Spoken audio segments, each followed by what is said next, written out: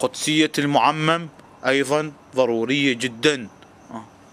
قبل عشرات السنين من من ينشاف المعمم وكأنما رأى رسول الله صلى الله عليه وآله وسلم رسول الله صلى الله عليه وسلم.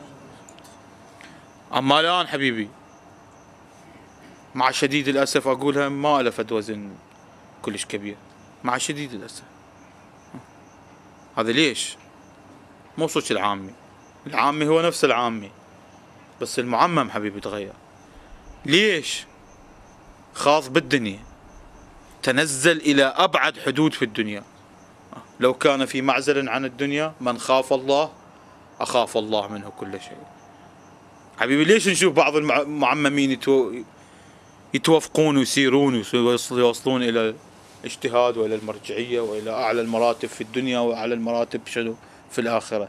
أكو توفيق إلهي. التوفيق الإلهي من يجي حبيبي؟ هذا اللي أريد أقولها الآية الذين جاهدوا فينا لنهدينهم سبلنا. آه شوف جاهدوا. جاهدوا أنفسهم. مو أنا أعبد ربي حتى يأتيني اليقين. آه وأعبد ربي ثلاثة أيام ووصلت لليقين يا ريتها أعبد ربي صدق فترة طويلة حتى أوصل لليقين. لا يظل يجاهد حبيبي.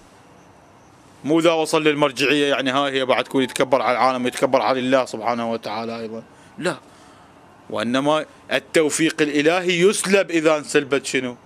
العلاقة مع رب العالمين، علاقتك مع رب العالمين جدا مهمة حبيبي.